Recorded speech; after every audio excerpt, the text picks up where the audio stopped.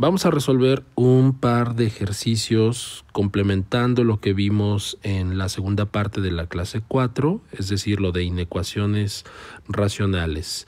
Entonces comenzamos con este que dice que x más 1 dividido sobre x más 3 es menor o igual que 2. Es necesario primero eh, despejar de tal forma que nos quede del lado, del lado derecho un 0. Por lo tanto, ese 2 lo vamos a pasar restando. Otra forma de verlo es restamos un menos 2 en ambos lados. Así es que algebraicamente nos va a quedar que x más 1 dividido sobre x más 3 menos 2 va a ser menor o igual que 2 menos 2 que va a dar 0. Entonces tenemos que hacer la resta de esta fracción algebraica con ese entero. Eh, el entero lo podemos poner como 2 sobre 1, de tal manera que la multiplicación de los denominadores será x más 3 por 1 va a dar x más 3 y después cruzado el numerador por el, eh, por el denominador sería x más 1 por 1 es x más 1 y eh, el menos 2 multiplica al x más 3. Esto es menor o igual que 0. No se altera el sentido de la desigualdad porque en el primer paso restamos cantidades iguales y vamos a simplificar el numerador. Entonces quedaría x más 1 menos 2 por x. En la multiplicación queda menos 2x y menos 2 por 3 es menos 6 dividido sobre x más 3 y esto es menor o igual que 0.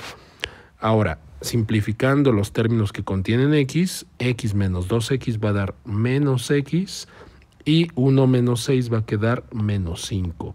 Esto queda dividido sobre x más 3 y esto es menor o igual que 0. Aquí vamos a hacer una factorización de un menos 1 en el numerador para conseguir con esto un cambio de signo. Entonces, si factorizamos un menos 1, que es lo mismo que sacar un signo menos, nos quedaría x más 5 dividido sobre x más 3. Esto es menor o igual que 0. Y ahora lo que hacemos es, para que nos quede positiva la fracción, multiplicamos ambos lados por menos 1. Entonces multiplicamos lado izquierdo por menos 1, lado derecho por menos 1. Y en este sentido, como estamos eh, multiplicando ambos lados por cantidades negativas, se tiene que cambiar el sentido de la desigualdad. Entonces menos 1 por el negativo de la fracción nos va a quedar x más 5 dividido sobre x más 3 cambia el sentido de la desigualdad y 0 por menos 1 va a quedar 0. Entonces, esa inecuación original se transforma a esta inecuación que ahora tendremos que resolver para eh, verlo en términos de los, de los este, factores o bien del numerador y del denominador. Entonces vamos a resolver para obtener el intervalo solución. Entonces, aquí tenemos esta inecuación donde el hecho de que sea mayor o igual que cero significa que va a ser positivo o cero. Y vamos a analizar las dos partes, x más 5 y el x más 3. En el numerador, el x más 5 implica que si tenemos un x igual a menos 5, entonces nos quedará que x más 5 va a dar 0. Y aunque en el denominador quede negativo, porque si sustituimos un menos 5 más 3 y menos 5 más 3 es menos 2, al final de cuentas al dividir 0 sobre menos 2 va a quedar 0. Y 0 sí es mayor o igual que 0. Con lo cual el menos 5 es un punto de referencia, pero sí va a estar incluido en la solución. Ahora, en el caso del denominador tenemos un x más 3. Si sustituimos un x igual a menos 3, entonces quedará 0.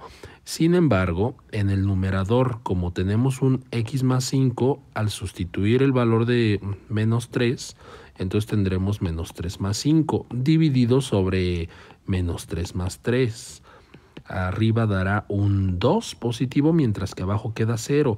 Y entonces hacer la división de algo sobre 0, hay que recordar que está indefinido y por lo tanto, aunque el 3 es un valor que se va a considerar en la recta numérica, no se va a incluir en la solución. Entonces, graficando, vamos a tener la recta numérica, tomamos el 0 de referencia, tenemos menos 1, menos 2, menos 3, menos 4, menos 5 y eh, el otro punto es el menos 3.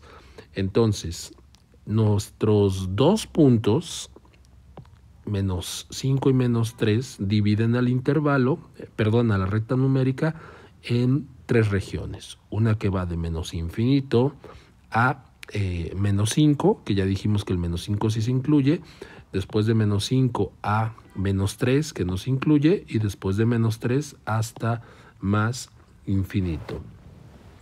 Eh, vamos a tener entonces estos intervalos y continuamos con el diagrama de signos, con el esquema de signos.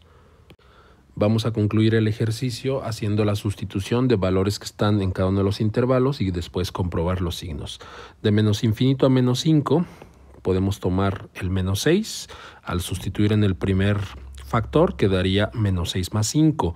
Menos 6 más 5 es menos 1, con lo cual quedaría negativo. Y en el segundo factor o en el denominador quedaría menos 6 más 3. Menos 6 más 3 es menos 3, significa que va a quedar negativo para cualquier valor que esté dentro de ese intervalo, excepto el menos 5 que en el numerador daría 0. Y dividir 0 sobre algo, pues ya sabemos que es 0, pero se satisface la eh, desigualdad. Eh, menos dividido sobre menos dará más y como estamos buscando que sea positivo o cero, entonces este intervalo de menos infinito a menos 5 sí va a ser parte de la solución. Después vamos a tomar del menos 5 al menos 3, por ejemplo un valor que podemos tomar es el menos 4 y entonces al sustituir un menos 4 en cada una de las partes de la fracción, menos 4 más 5 en el numerador quedará eh, más 1, es decir, positivo, y en el denominador quedaría menos 4 más 3, eso da menos 1, más dividido sobre menos es menos, como estamos buscando que sea positivo, entonces ese intervalo no es parte de la solución.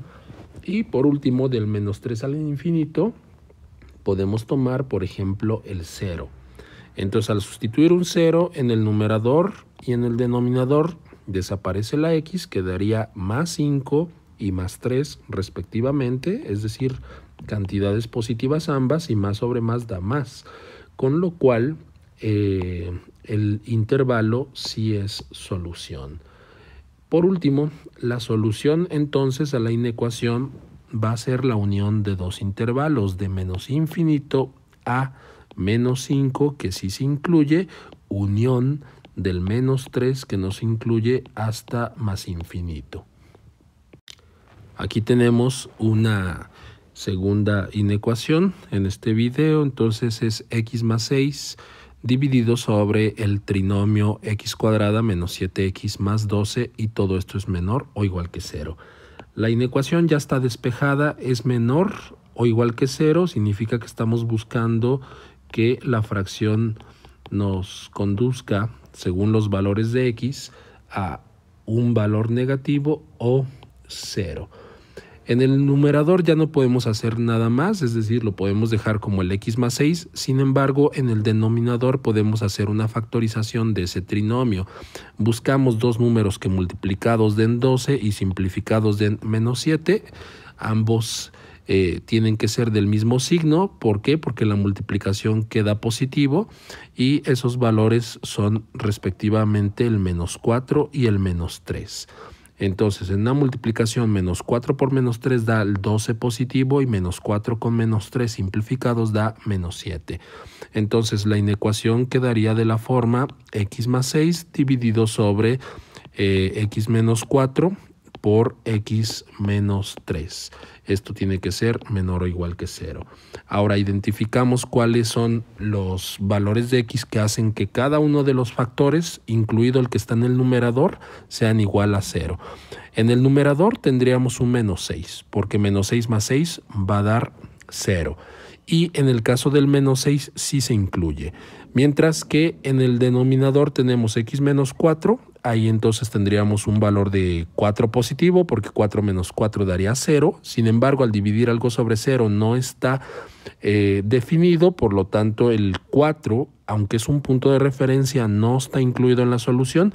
Y lo mismo para el segundo factor del denominador, que sería x menos 3. Entonces significa que si tomamos un 3 positivo, 3 menos 3 daría 0.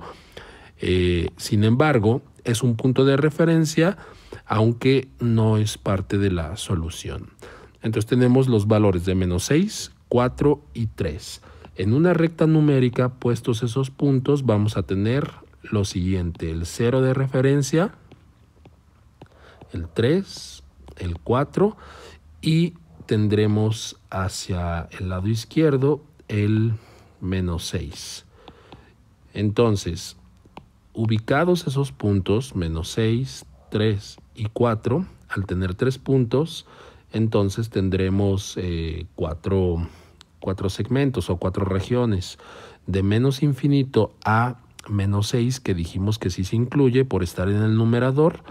Luego de menos 6 hasta el 3, que no se incluye, entonces aquí va un paréntesis. Luego del 3 al 4 y finalmente del 4 hasta el infinito. Entonces vamos a tener los intervalos de menos infinito a menos 6 con corchete. Eh, el otro intervalo es de menos 6 a el 3 positivo con paréntesis, luego del 3 al 4 con paréntesis y finalmente del 4 al infinito. Y aquí cerramos con paréntesis. Vamos ahora a hacer la tabla. Entonces los factores que están involucrados son x más 6, x menos 4 y x menos 3. Entonces eh, vamos a tomar signos, eh, perdón, valores para cada uno de estos intervalos y sustituir en los factores. Estamos buscando, hay que recordar, que nos quede signo negativo. De menos infinito a menos 6 podemos tomar, por ejemplo, el menos 7.